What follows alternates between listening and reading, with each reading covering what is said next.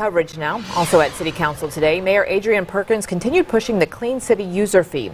He believes the city needs to charge $18 a month for trash pickup and to help build the reserve fund. Councilman James Green proposes a $7 monthly fee for just the sanitation department. $7 is a start, as what I said a few minutes ago.